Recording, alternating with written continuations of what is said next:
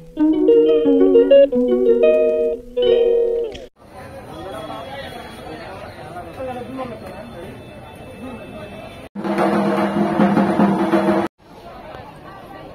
Everyone welcome और welcome back to my channel तो आप लोग मेरा थंबनेल और टाइटल देख के समझ गए होंगे, आज मैं जा रही हूँ मंदिर।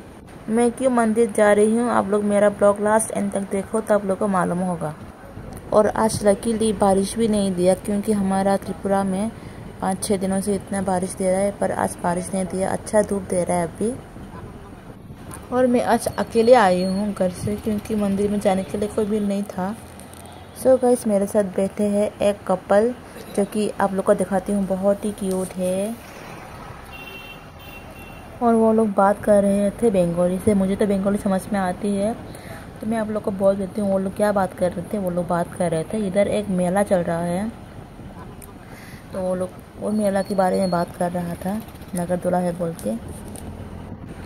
सो so फ्रेंड्स अभी हम लोग पहुँचने वाले हैं और 10-15 मिनट के बाद, और दूर नहीं है मतरबारी टेंपल जो कि त्रिपुरा सुंदरी मंदिर के नाम से भी जाना जाता है।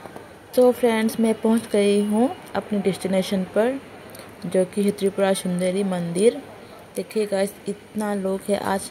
मैं लिटरली डर गई हूँ। इतना धूप है प्लस इतना लोग है लाइन में खड़ा रहना पड़ेगा। तो मैं सोच रही हूँ, कैसा होगा कैसा होगा, पर परवाह नहीं, भगवान चाहता है तो सब कुछ आराम से हो जाएगा। तो आप लोग देख सकते हो गाइस मैंने अगरबत्ती और मोमबत्ती और प्रसाद ले लिया है भगवान को बुक चढ़ाने के लिए। और गाइस मैं क्या देखा? जैसे ही मैं प्रसाद लेके बाहर आ गई तो उधर मंदिर के ऊपर देख रही हूँ क्या?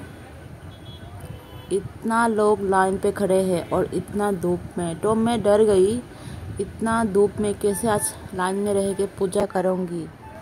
फिर भी अभी थोड़ा पहले से अच्छा है, क्योंकि वो उधर आप लोग देख सकते हो ना, वो क्या एक छत जैसा वो लोग कर दिया अभी। जब मैं पिछली बार आई थी तब वैसा नहीं था। सो गाइस और रास्ता नहीं है मेरे पास तो मैं भी लाइन में आ गई हूँ गाइस जब मैं लाइन में आई थी तब मैं सबसे लास्ट में थी, ठीक है? तो अब भी देख सकते हो आप लोग मेरे पीछे भी इतना सारा लंबा लाइन लग गई है। इतना दिनों से बारिश दे रहा था, लेकिन आज इतना धूप दे रही है, मुझे यकीन नहीं हो रहा है।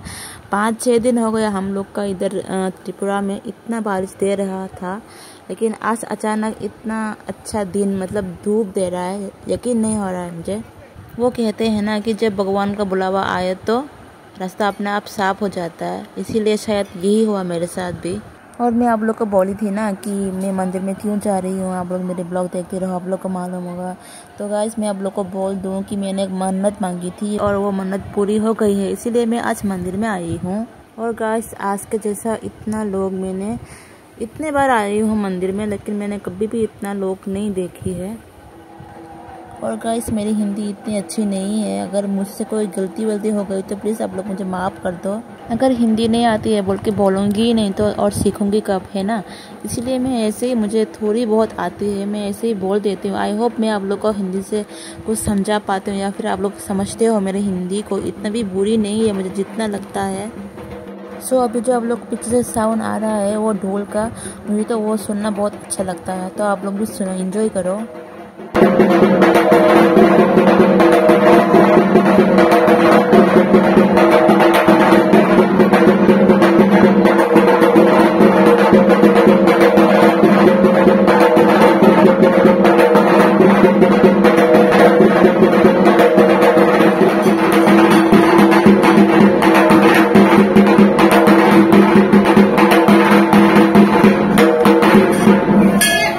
सो फ्रेंड्स वर्शिप कंप्लीट हो गई है मेरी।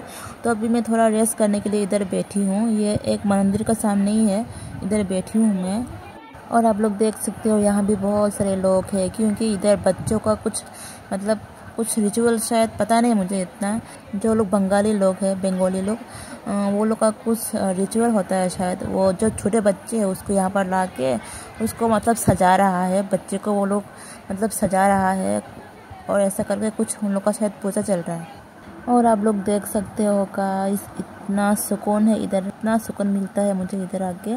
जो भी अभी तक इस मंदिर में नहीं आए हैं या फिर आने के लिए सोच रहे हो तो आप लोग फटाफट से आइए। यहाँ पर आप लोग को ज़रूर सुकून, शांति मिलेगा।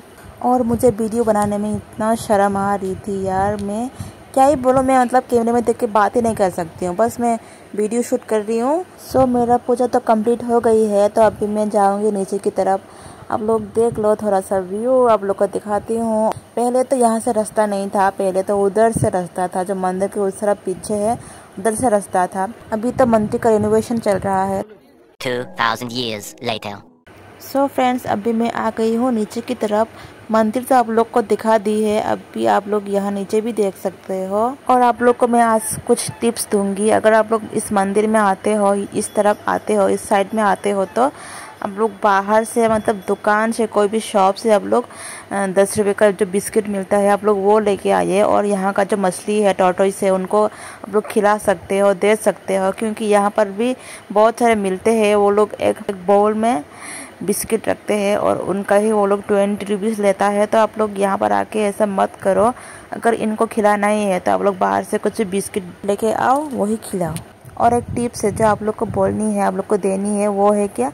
मंदिर के बाहर आप लोग को बहुत फूल वाले मिलेंगे जो आप लोग को ज़बरदस्ती देने की कोशिश करेंगे। अगर आप लोग को चाहिए तो आप लोग ले लो, परवाह नहीं, अगर आप लोग को नहीं चाहिए तो आप लोग उनको बोल सकते हो कि नहीं, उनको नहीं चाहिए क्योंकि वो बहुत कॉस्टली होता है। मैं तो अपना गार्डन से फूल तोड़ के लाया।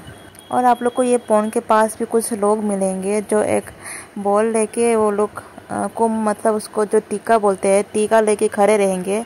अगर आपको वो टीका लगानी है तो आपको उन लोग को पैसा देना होगा तो आप लोग ये भी इग्नोर कर सकते हो अगर आप लोग को नहीं चाहिए तो। अगर आप लोग को टीका लगानी है तो आप लोग पैसा दे के लगा सकते हो। ये सब जो मैं आप सभी को बोल रहा हूँ, आप लोग प्लीज़ मुझे गलत मत समझो, क्योंकि जो लोग फ़र्स्ट टाइम आ रहे हैं, यहाँ पर फ़र्स्ट टाइम आएँगे, उन लोग को तो मालूम नहीं होगा ना। तो मैं उन लोग को थोड़ी बस बोल दे रही हूँ। सो उसके बाद मुझे बहुत भूख लगी थी तो मैं खाने के लिए इस तरफ़ आ गई।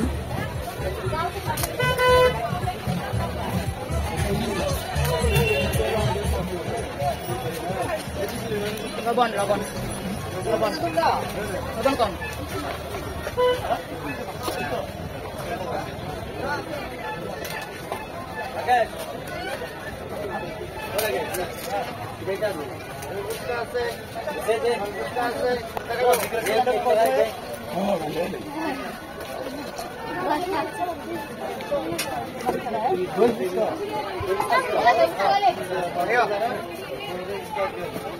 So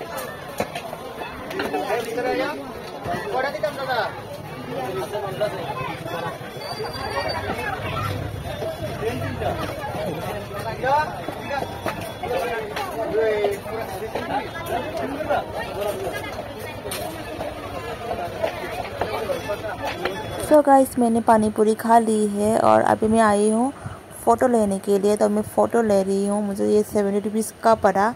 तो मैंने फ़ोटो ली है, क्योंकि मैं आज आप लोग को भगवान का दर्शन भी नहीं करा पाई। तो ये है जो मैं आज दर्शन करी हूँ, ये है वो माता। आज बहुत लोग था, इसलिए आप लोग को माता जी का दर्शन भी नहीं करा पाई।